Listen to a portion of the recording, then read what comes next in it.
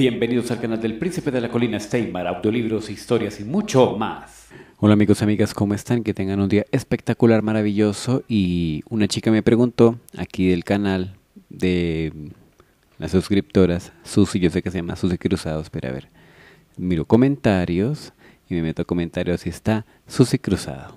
Listo. Saludos a Naomi, a Guadalupe Aguirre, a Susi Cruzado, Leticia Hernández, eh, Claudia Ajeitos Camaño y Mitsue, que son las chicas que están últimamente más atentas. Y bueno, ya sin más dilación.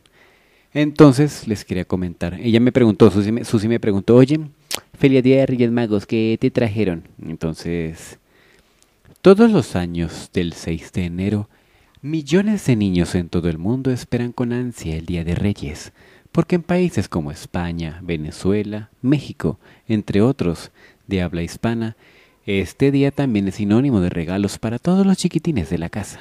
Bueno, pese a que Venezuela está al lado de Colombia, nosotros no vivimos esa tradición como, como la hacen ustedes. Lo único que nosotros hacemos es que en el pesebre ponemos a los tres reyes magos como que ya llegaron al, a donde está el niño Dios, ¿no? Y ya.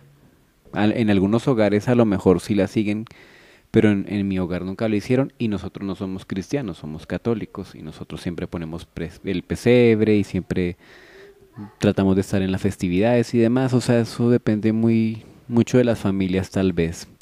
Pero la cultura mexicana es una cultura muy marcada por, por según yo, el Día de Reyes, entonces a ustedes les dan regalos. Me decía Lupita, no me va a morar nada, ya sigo con la historia. Me decía Lupita, es que me siento muy triste. Yo le dije, ¿por qué, Lupita? Es que, es que hoy es el día de... No, no estoy quemando Lupita, ¿no? No te estoy quemando, tranquila. Jaja. y me dice, mm, es que estoy muy triste porque es que hoy es el Día de Reyes. Y claro, el Día de Reyes para ella tiene una simbología porque para mí la Navidad representa una cosa y la infancia es una etapa en la vida muy importante. Y para ella, pues, este día ya convivirlo, o sea, tener este día en edad adulta, la etapa adulta, ya no es lo mismo que ser un niño y esperar los regalos. Ya la cosa se transforma. Ahora uno de adulto es el que tiene que dar o viceversa o etcétera. Bueno. Pero ella, pues para este, para este día tiene mucha simbología para ella porque pues ella recuerda a la familia y cositas muy, muy allegadas a ella que, que son de representación y que justamente en ese momento no las tiene. Yo por mi parte Nunca celebré el Día de Reyes, nunca le tomé importancia porque el único día que era para mí muy importante era el día 24 de diciembre, que era el día cuando llegaba San Nicolás, Santa Claus, Santa Claus, mm, San Nicolás le llaman aquí. Allá le llamamos Papá Noel o Papá Noel. Pero bueno, el Santa, Santa Claus, ese sí es universal. Entonces, bueno, a mí que me dieron el regalo de Reyes, nada, nada. Mucho amor y prosperidad y, ustedes que son unas chicas muy especial y maravillosas, Dios mío. Y nunca dejen de soñar, no sean tristes. Recuerden que uno puede ser feliz con pequeños detalles. Además, la vida es muy hermosa y si ustedes salen a contemplarla, van, van un momentico al parque y miran los árboles mecerse, los pájaros, la vida en sí. Eso es impresionante, no tiene, no tiene precio, mejor dicho, todo eso que está allá en la naturaleza y ya. Entonces, de acuerdo con la religión católica, este día coincide con el día de la Epifania en las celebridades litúrgicas más antiguas que significa revelación o aparición en referencia a que el niño Jesús se muestra al mundo pagano, representando en los Reyes Magos, constituye el fin del periodo navideño en muchos países del mundo especialmente en los de habla hispana. Sí, chicos y chicas, lastimosamente ya pues la Navidad ya se terminó, ¿no? Y ustedes saben que los, los reyes son Melchor, Gaspar y Baltasar. Y bueno, será interesante sacar una historia de Melchor, Gaspar y Baltasar, pero con Anthony, Terry y Albert. Dios mío, Albert era el que llevaba el, dinero, ¿no? Eh, Anthony llevaba la mirra, y Terry llevaba el, el, incienso. Dios mío, fue impresionante, o al revés. y bueno, ahora sí nos vamos con esta increíble historia de William Albert Andrew, narrado por su triple papa soterramo Robocop Chayan, este Mar Barón, el más astuto, el más hermoso, todas las nenas lo persiguen, ya maneja y tiene carro. ¿Cómo la ven? Bueno, estoy suponiendo, no tengo nada, no tengo ni siquiera para la suela de los zapatos. Dios mío. pero soy feliz con lo poco que tengo. Eh, que no es mucho, pero mm, ojalá que algún día cambie esa situación, Dios, mío. En el capítulo anterior de una historia improvisada de William Albert Andrew, ese día no, nadie sabía que era el día de Reyes. Y Albert le tenía una sorpresa a la pequeña Picosa. Él se había sometido a los suburbios, el suburbio 23. Eso fue impresionante, eso mejor dicho, eso era una cosa impresionante. Había mucha gente de todas las clases, había gente mala, muy mala. Pero también había gente buena que pese a la, pese a la pobreza, pues también tenía un gran corazón. Querían salir adelante, era gente muy creyente en Dios, tenían mucha fe y querían ayudar al prójimo y salir adelante. Hay gente que no tiene la culpa cuál es el destino que le toca, pero pero otros que son malvivientes que sencillamente nacen en la pobreza y terminan viviendo en la pobreza porque creen que se hacen ricos quitándole a los demás. lo que consiguen son, mejor dicho, tener desgracias para su vida. Eso es ser muy miserable. Pero bueno, Albert se metió a ese lugar con sus dos Donkey Kongs. Con esos gorilitas que, mejor dicho, eran impresionantes. Uno sabía manejar los chacos y el otro, mejor dichoso, tenía una bazuca en la espalda y una metralleta. Y el otro tenía una escopeta recortada y una pistola Magnum. Dios mío, eso fue impresionante. Y también tenía un revólver. Y también tenía una pistola, una espada láser. Esos guardaespaldas eran, mejor dicho, todopoderosos. Eran, mejor dicho, es que mejor protección que ellos no hay. Y bueno, entonces Albert sacó la pecosa de ese lugar, y la mamá le dijo que se cuidara, que todo bien, que se fuera feliz. Albert le dejó una caja de chocolates, muy ricas, deliciosas para esa señora, para que fuera feliz. Y bueno, ya habían entrado al restaurante, ya estaban ellos sentados ahí. Estaba Albert con su pequeña pecosa. Eh, iba a pasar algo maravilloso porque es que el amor desbordaba en, ese, en esa alma pura de los dos. Era una cosa impresionante. Y bueno, él ya estaba a punto de declarar su verdadero amor, porque lo que Albert tenía para ofrecerle a su pequeña pecosa era el fruto de su amor, calientito y a gusto. Con ese fruto de amor, con esa pasión desembor, desemborda, des, ¿cómo es? Desbordada, digamos, nada más. Una pasión, pasión desenfrenada era como un chiquillo que estaba enamorado de su pequeña chiquilla. Dios mío. Candy, tú eres mucho más linda cuando ríes que cuando lloras, pequeña. Candy, desde el primer momento en que te vi, supo que yo supe que podía ver, supe que podía apreciar lo más hermoso que hay en esta tierra. Y descubrí que tú eras ese algo que me llenaba. Eres mi otra mitad, Candy. Eres Eres como ese amor eterno e inolvidable. Y quisiera decirte que te amo demasiado y eres lo más importante que me ha pasado en la vida, Candy. Yo quisiera saber si tú quisieras casarte conmigo, pequeña. Eh, pero Albert... Nada, pequeña, no me digas que no, pequeña. Porque si tú me dices que no, mi corazón podría hacerse mil trizas. Y mis esperanzas y mis ilusiones podrían irse al carajo, Dios mío. Yo no sé qué haría sin ti. Sería el hombre más desdichado del mundo, pequeña becosa. No me digas que no, Candy. Albert, mm, sí, yo, yo sí quiero, obvio. Es que está sobrado de plata. Y, no solo eso. Oh, pequeño. Y no solo eso, Albert. Eres una persona muy influyente y tienes un gran corazón. Mm, es que... ¿Qué qué, Albert? Que dije que tenía mucho dinero, es que lo tienes. O sea, estabilidad me va, no me va a faltar. No es nada superficial ni materialista, simplemente estoy diciendo, tienes dinero y punto. Porque yo también puedo salir adelante. Tú sabes que yo soy enfermera, trabajo muy bien para salir adelante y siempre le doy todo a mi mamá. Lo sé, pequeña.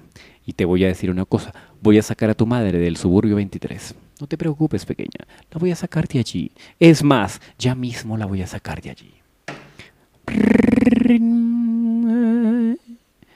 Dígame, señor Albert. Eh, George, mira, Candy y yo vamos a, vamos a cenar esta noche muy a gusto. Yo yo creo que me voy a tardar con ella una hora. Más sin embargo, si, nos si no nos tardamos la hora, voy a hacer lo posible para que ella y yo nos estemos degustando algún, algún cóctel, alguna bebida bien chévere, bien, bien bonita, bien chusca, mientras tú vuelves en una hora, para que el tiempo se vaya pasando.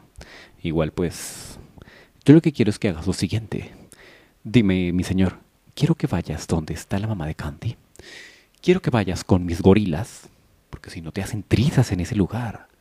Quiero que vayas con ellos, te bajes, saques a la mamá de Candy y le digas que esa casa en la que ella está viviendo se la regale a una de las familias que vive por ahí, aledañas, que de pronto esté en una situación de miseria más grande. ¿De miseria, Albert? Oh, pequeña, oh, Dios mío, estás acá conmigo. Ah, ah, bueno, sí, Candy, tu mamá no vive en un buen lugar, la verdad. Quiero sacarla de ese lugar, quiero darle lo mejor. Tienes que entenderme eso, tienes que entender que, que, claro, qué bonita vecindad es la vecindad de Candy. No valdrá mendio centavo, pero es linda de verdad. Mi nombre es Candice White y cuando yo me como un refresco, soy la más astuta. Otras me dicen que yo soy muy audaz. Candy, entonces, así quedamos, pequeña. Voy a sacar a tu a tu mamá de ese lugar. Eh, señor Albert, entonces, sí, George, ya te hablo. Candy, entonces déjame terminar con George y ya te explico. No te vayas a ofender que lo que estoy haciendo es sacarte de este mundo de dolor. Gracias, Albert. No hay problema, pecoña. Pecosa. Pequeña. Em, George, mira, dime, señor. Mira, dile a, dile a la mamá de Candy que se salga de ahí y que le regale esa casa a alguien que esté por ahí viviendo al lado y que pues esté muy necesitada. Sí, señor. Y nada, llévala que dale, dale el apartamento que tengo, el blanco. El apartamento de cuatro plantas. Sí, dale ese. Dale el apartamento de cuatro plantas. Dile que ella va a vivir ahí. Y cómprale un mercadito grande como para que le dure... Mm, como para que le dure cinco meses. Cómprale unas latas, una comida enlatada. Cómprale atún, cómprale salchichas, cómprale, bueno, todo lo que sea enlatados, mejor dicho, cómprale elote, frijoles, todo lo que vendan enlatado, cómpralo y que tengan duración de por lo menos unos 2-3 años para que ya no tenga que salir de su casa ni preocuparse nunca más. Y tenga sus, sus enlataditos ahí en la nevera y todo eso así, para que sea muy feliz. Sí, mi señor, ya. Y así fue. Se fue nuestro querido George y la sacó de la casa y había una señora que estaba sufriendo mucho con sus cuatro hijitos. Y ella se fue para allá, para esa casa a vivir y fui tan feliz porque ya tenía un hogar propio. La señora, el George le dijo, mira mi señora, vamos a escriturarle, tú pasas a tal dirección y vas por los papeles y la casa es exactamente tuya, no es más. Y a esa familia muy humilde, la señora con sus cuatro pequeños le regaló un dinerito, unos cuantos dolaritos para que tuvieran para las Dios mío, y esos niños tuvieron sus regalos de reyes cada uno. O sea, fueron personas, eran cuatro niños y tuvieron, mejor dicho, eran eh, cuatro regalos para cada uno. Eso fue impresionante, todos eran muy felices en esa casa. Y entonces Albert dijo, bueno, Candy, eh, hasta luego, George. Pum, pum, pum, colgaron. Eh, Candy, yo te hice una proposición. Albert, pero... Mm, no, pero ya que voy a poder decir que no, si todo lo que has hecho por mí, o sea... Mm, sí, ¿quieres que te baje las estrellas, pequeña? Te las bajo ya mismo. ¿Qué quieres que te lo haga? Yo mismo te lo hago todo. Eh, no, pues no, ya hiciste demasiado, yo no esperaba tanto, la verdad no esperaba nada. Lo sé, Candy, conozco tu corazón y me gusta porque tú eres una mujer que no estás esperando nada material. Tú sabes que uno se muere y nada se lleva. Entonces, lo que me aportas tú a mi vida es ese carisma, ese entusiasmo, esa alegría, esa pasión por la vida misma. No eres ni superficial, ni materialista, ni rencorosa, ni... No, vives la vida con alegría y eso me gusta bastante, pequeña. Entonces por eso te pregunto que si te quieres casar conmigo, Candy. Claro que sí, Albert. Quiero casarme contigo. Bueno, pequeña, entonces... Eh, señor, eh, permítame una bandeja de las más finas que tenga acá. No sé qué, será lo más fino que puede tener tú, pero, pero dámelo, por favor. Dame una langosta y dame mm, un vinito, el más fino que tengas tú. Eh, sí, mi señor. Y se fue. Le pusieron la comidita a ellos y fue impresionante. Ellos comieron hasta más no poder. Y hicieron tiempo bebiendo champaña. Mm, pequeña. Y llegó George. Y entonces ellos se fueron en la limusina. Y él le dijo, Candy. Ellos están un poquito entonados porque se habían tomado champaña. Le dijo, Candy. mm, oh, tomé demasiado, Candy. "Eh, sí, yo también. Mm, vamos a... George, llévame a... Llévame al hotel de 24 estrellas que hay al sur. El número máximo de estrellas de hoteles es el número 7. Bueno, yo conozco solamente 5 estrellas, hotel 5 estrellas, no sé más cuántas estrellas habrán más después. Pero Albert se fue para el hotel 23 estrellas. Y bueno, eso era impresionante, esos pisos estaban, en- estaban mejor dicho, barnizados en oro. Y las paredes y todo, mejor dicho, habían hasta tigres y panteras de oro al entrar. Y mejor dicho, es que hasta las bombillas estaban hechas de esmeraldas. Esmeraldas, circonio, eh, zafiros. Él vio en la pared así un letrero que decía Azul Zafiro Terrifix. Dios mío, él dijo, no señor. Eh, aquí soy yo el que manda, porque ese es un William Albert Andrew Frick. Entonces dijo, eh, señor, está muy bonito su obra de arte, pero Azul Zafiro está perfecto, pero ¿cómo, cómo que Terrifix? ¿Cómo, cómo- cómo que Terrifix? Eh, ah, tápeme eso con una cortina, por favor. Sí, sí, señor. Sí. Pero tiene un costo. ¿Cuánto quieres? Mm, lo que pasa es que esa es una obra invaluable y le corresponde a la señorita Beatrix. Ella pagó un millón de dólares para que estuviera eso ahí expuesto. Simplemente por el hecho de darse a importancia. Ah, no, pues te doy dos millones de... Tómalos. Hasta luego. Tápame eso de que te No, que, te ri- es que- ah, soy el que manda, soy yo. Eh, eh, bueno, sí, señor, sí. Por la plata baila el perro. Por la plata baila el perro. El baile del perrito, todos quieren bailar. Bueno, entonces, eh, bueno, Albert la llevó porque era un hotel 5, 24, est- 23 estrellas. Eso fue impresionante. Eso se había remo- modernizado tanto que hasta es- esa misma noche se le habían subido dos estrellas al hotel. Eh, atención, por favor, a todos, a toda la comunidad. El día de hoy este hotel cuenta con 23 mil perlas valiosas en todas las paredes. Este hotel pasa a ser 25 estrellas. Dios mío. Y bueno, Albert dijo, bueno, me importa un pepino tus, tus estrellas. Yo lo que quiero es darle a Candy su regalo. Es em, botones, ven. Eh, sí, mi señor, te llevo el equipaje hasta allá. No tengo equipaje. Yo me llevo a mi equipaje, que es esta niña que tengo acá conmigo. Es una niña que ya tiene más de 18 años, así que no te preocupes, que no hay ninguna aberración. Ella, yo esperé hasta que tuviera la edad suficiente. Ella sufrió mucho por unos hombres que perdió en su vida, pero ahora yo soy su hombre. ¿Quién es ese hombre que me mira y me desnuda?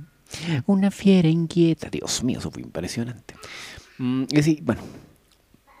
Toma, esta es la llave. Le pasó una, una llave de oro con diamantes, esmeraldas, zafiros, rubíes. Eso era impresionante, Dios mío.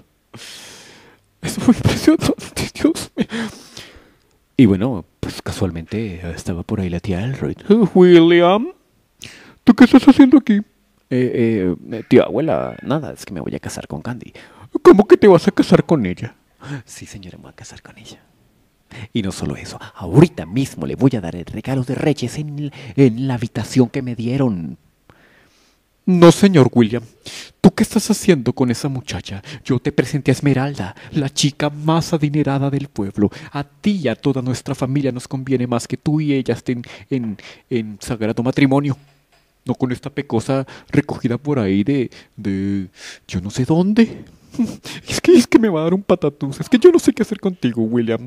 No me, importa un pepino, tía abuela, lo que tú digas. Candy, vamos a la habitación porque te voy a partir el bizcocho.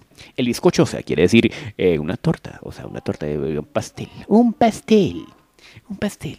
Iban para la habitación porque Albert le iba a dar a Candy su regalo de Reyes.